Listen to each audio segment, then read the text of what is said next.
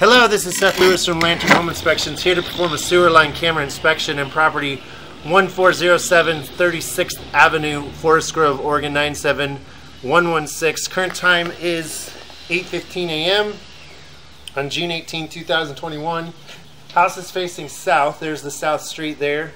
Parking uh, your driveway there, your front entry here on the ground here is a 4-inch ABS cleanout. Is where I'll be accessing the line for inspection.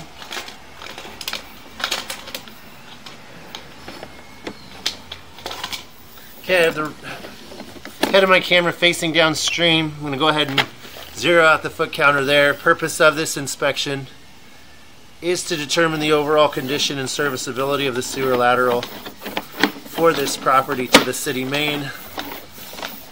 A lot of turns there. 10 feet we transition from ABS to 3034.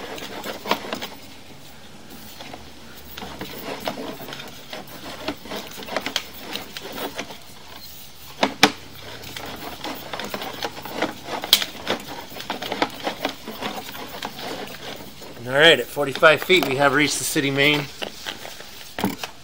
on the south street. We'll go ahead and pull back from here.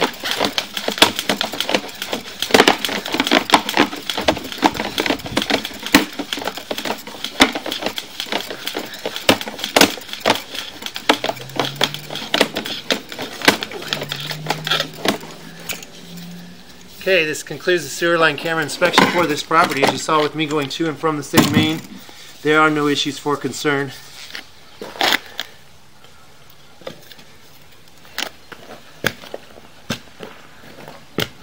This is a passed sewer line camera inspection for this property.